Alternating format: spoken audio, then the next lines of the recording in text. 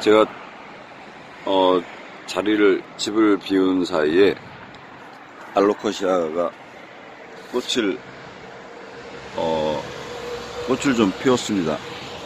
아 여러분들께 자세히 설명을 드릴게요.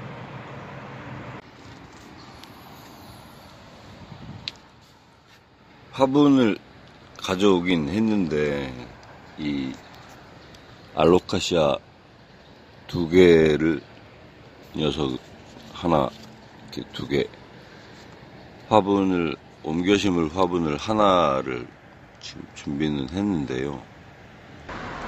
지금 하나가 지금 이거거든요. 알로카시아는 뿌리가 좀 깊이 들어가야 돼요.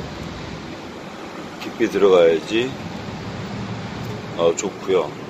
그래서 조금 깊은 거 하나 마련했고 그리고 알로카시아가 잎이 넓고 녹색이고 그래서 이런 화분에 하면 어, 좋습니다. 그래서 준비를 하나 했고 어, 안쪽에는 흙을 너무 많이 넣으면 움직이기가 무거워서 힘들어요. 그래서 저는 이제 어, 이런 와인병 가운데다가 이렇게 집어넣으면 공간이 생기죠. 어, 그리고 이제 심으면은 양쪽으로 뿌리가 이렇게 내려가고요. 어, 그리고 이제 물, 물 흐르, 물 나가는 구멍을 살짝 이렇게 막아주면, 막아주면 좋거든요.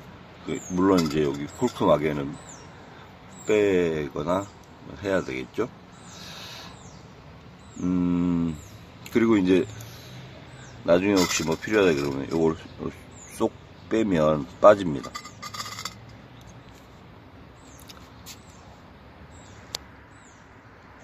꽃대가 꽃대가 올라왔는데 제가 여행을 다녀온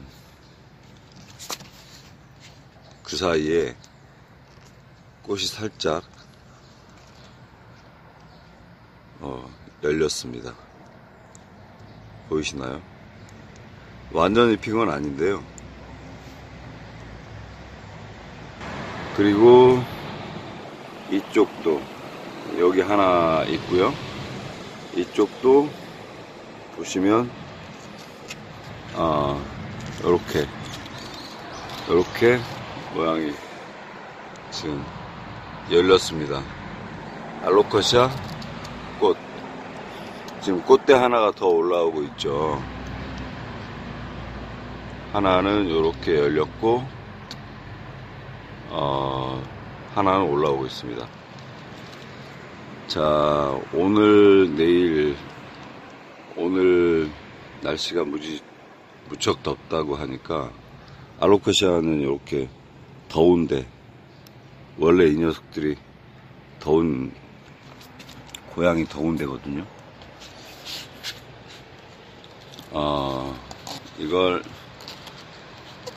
조금 더 활짝 피면, 이제 여러분들께 전체 모양을 보여드릴 수 있을 것 같아요. 그리고 어, 화분 예쁜 화분을 하나 더 구해서 두 녀석을 이주를 시키도록 하겠습니다.